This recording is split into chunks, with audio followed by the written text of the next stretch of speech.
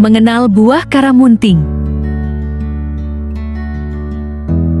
Karamunting atau dengan bahasa Latin Hodomyrtus tomentosa merupakan salah satu tanaman yang tumbuh liar di daerah Kalimantan Barat. Tanaman ini memiliki buah yang terasa manis dan mengandung antioksidan tinggi karena memiliki warna buah masak merah hingga kehitam-hitaman. Anak muda zaman sekarang mungkin asing dengan buah ini. Namun pada tahun 80-90-an buah ini cukup populer sebagai cemilan anak-anak. Selain rasanya yang manis, buah ini juga banyak tumbuh liar sehingga mudah dijumpai di mana saja.